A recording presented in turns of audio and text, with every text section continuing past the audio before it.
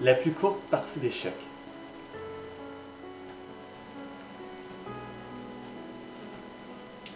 La plus courte partie d'échecs. Lors de la partie suivante, les Blancs jouent leurs deux premiers coups sans réfléchir et se font mater immédiatement. C'est la plus courte partie possible, appelée par dérision le mat d'SO, SOTS. Les Blancs débutent en avançant leur pion F2 en F3. Ceci est un coup mal avisé parce que cela ouvre la diagonale H4-E1 qui permet de menacer le roi blanc. Ceci aussi empêche le cavalier G1 de sortir en F3, ce qui est normalement la position habituelle du cavalier blanc lors du début d'une partie.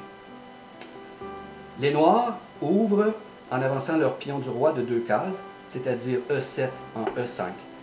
Donc ce pion est positionné au centre de l'échiquier et contrôle les cases D4 et F4 qui sont au centre de l'échiquier. Excellent coup de la part des Noirs. De plus, cela ouvre la diagonale F8 A3 qui permet de déployer le fou du roi.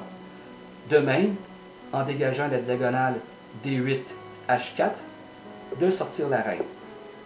Il est peu avisé de sortir la reine lors du début d'une partie d'échecs. Bon, ceci étant dit, voilà. Maintenant, les blancs euh, avancent leur pion G2 en G4. Ceci est un très mauvais coup. Ils viennent de signer leur arrêt de mort parce que maintenant, les noirs sortent leur dame D8 en H4 pour déclarer aux blancs échec et mat.